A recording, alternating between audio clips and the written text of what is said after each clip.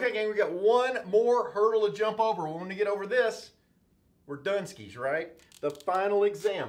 Now, this is primarily for my classes, but I'm, i think you may find it helpful for your class as well. But things that um, that I would like to see, or that I'm going to put on my final for my students. Now, will you hit the same thing? I don't know, but you know, hey, probably. Okay, so things that we didn't get to cover in a test that you probably get to see on the final. There's not going to be a video series on these because all of these videos are already made. You need to go back and review them. There are things that we have talked about that maybe we didn't get to put on a test because there was so much material. What did we miss that we can pick up and put on the final and uh, test you on? And that might be something like, number one, a machine problem. Okay?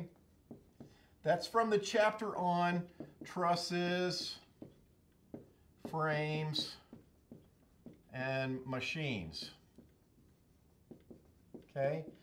And machines, what are machines? Well, they have moving parts. And they don't have global equilibrium.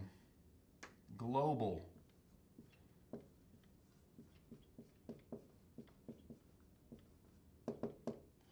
Well, I'll say global equilibrium is missing, right? There is no global equilibrium on those. So a machine problem, we remember how to do those, right? Same as the rest of them. First thing you got to do, boom. What are you going to do? TNT. Blow it up, right? Draw a free body diagram of each piece and then solve it. Can you draw free body diagrams? So critical. Okay, the next problem. How about this one? Centroid by calculus. Okay, a centroid by calculus problem. Probably didn't have that on a test.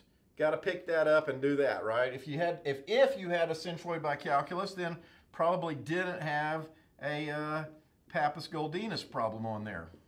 Okay. That stuff is all on the chapter three or the exam three uh, review problem. So you can see one on this or that. So those are those are there. Those videos exist. Just go back and review those. So some kind of centroid problem. The, the another thing for sure 100% you're going to have on there is a moment of inertia problem. Okay. You've got the uh, two videos on that, really. You've got, um, you know, um, parallel axis theorem.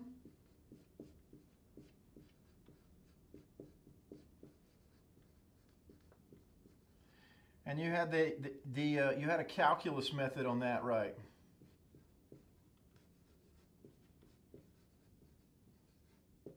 Okay, again, you can go review those videos. That's the last videos since exam three review. Okay, so that would be on there. So there's there's one, two, three problems. Another good problem would probably be something like, uh, let's see, ooh, how about how about a lambda hat? It's been a while since we've done one of those, right? So lambda hat, some kind of uh, 3D reaction problem. Right? So you've got to write those unit vectors. Remember that? The lambda hat method, write your vectors in IJK form. It's been a while since we've done one of those. Might want to throw one of those at you, okay? And let's see, what, what would the problem kind of number, number five be? Maybe a friction wedge problem, right? It was kind of the last um, the last section of the of the the uh, friction chapter. So a wedge problem. And all about that FBD. Remember, the bad thing about friction is you can't guess the direction. If you get the direction backwards, you get the problem wrong. So you've got to get friction drawn on there the correct way. So go back and review those videos. So that's a that's a good um, a good uh, compilation of, pro, uh, of problems for the final exam. So one, two, three, four, five topic areas, things that we kind of missed during this semester. We'll come back, we'll hit them on the final. And uh, all the videos exist, so I suggest you study. And golly, I hope you do good. Let's do good and let's get an A+. plus. All right, I'll see you on the next video.